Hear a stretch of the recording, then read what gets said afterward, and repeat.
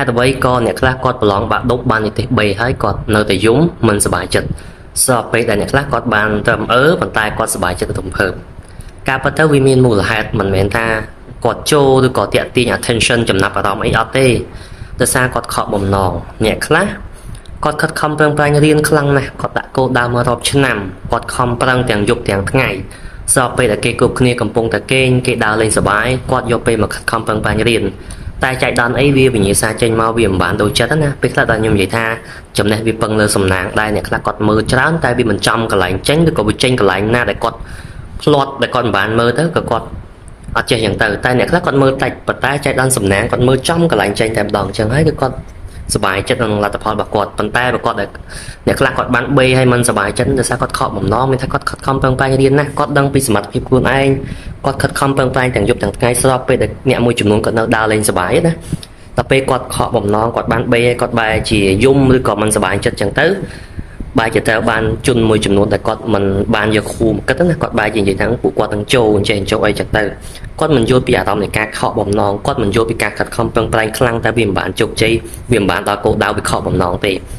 កាលណាដែលយើងដាក់គោលដៅខ្លាំងយើងសង្ឃឹមខ្លាំងយើងតស៊ូខ្លាំងតែវាមិនបានដល់គោលដៅដែលយើងចង់បានវាធ្វើឲ្យយើងខកចិត្តប៉ុន្តែពួកគាត់ក៏មិនខកចិត្តខ្លាំងដែរគាត់គាត់ខកចិត្តមួយពេលចឹងទៅធ្វើគាត់អត់សុបាយចិត្តចឹងទៅខ្ញុំយកអារម្មណ៍មួយហ្នឹង ដូចពេលដែលបងអូនខ្ញុំគាត់ប្រឡងបាក់ដប់ខ្ញុំចាំគាត់ប្រឡង2019កាលហ្នឹងគាត់បាននិទេស B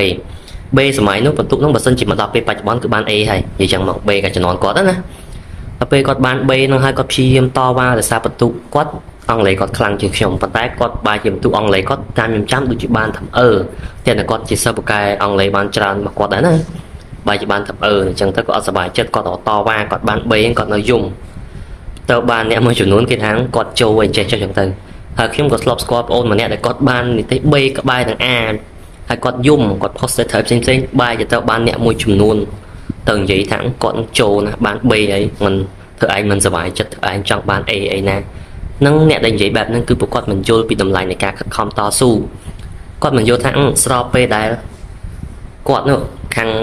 ដែលបាននិទេសអឺឲ្យសុបាយចិត្តខ្លាំងឌីលអ្នកនិទេស B មិនសុបាយចិត្តនេះគាត់មិនយល់ទេទៅស្អីគាត់ដឹងថាពេលដែលយើងខិតខំប្រឹងប្រែងខ្លាំង គេគ្រប់គ្នាកំពុងសម្រាកគេគ្រប់គ្នាដេកគេគ្រប់គ្នាដើរលេងយើងពងរៀនហើយយើងដាក់គោលដៅច្បាស់តែវាចេញមកលទ្ធផលដែលវាមិនបានដូចចិត្តវាខកបំណងខ្លាំងណាស់ហើយអ្នកខ្លះទៀតក៏ស្គាល់ពីសមត្ថភាពខ្លួនឯងដល់ពេលចេញលទ្ធផលមកវាមិនបានដូចចិត្តណាវាពិបាកធ្វើយើងបាក់ទឹកចិត្តវាមិនសុបាយចិត្តតិចដែរអញ្ចឹងខ្ញុំជាការលើកទឹកចិត្តដល់គ្នាយើងដែលគាត់ខកបំណងបាន3ហើយនៅមិនសុបាយចិត្តហើយបងគាត់ផ្ដាំតែចេះបងកុំបាក់ទឹកចិត្តអីយ៉ាងហោចណាស់ក៏បងធ្វើបាននីតិល្អហើយ ហើយក៏អបអសតដែលបងអូនបានជាប់ហើយខិតខំប្រឹងប្រែងបន្តទៀតដោយសារអីយើងមិនមែនរៀនតាមបាក់ទុកនឹងទេយើងបន្តដល់បញ្ញាបត្រអនុបណ្ឌិតអីទៀតនោះយើងត្រូវរៀនជំនាញនៅសាកលវិទ្យាល័យដើម្បីទៅទៅនឹងការងារដែលយើងចង់ធ្វើអញ្ចឹងចូលបងអូនកុំបាក់ទឹកចិត្តអញ្ចឹងខិតខំប្រឹងប្រែងបន្តទៀត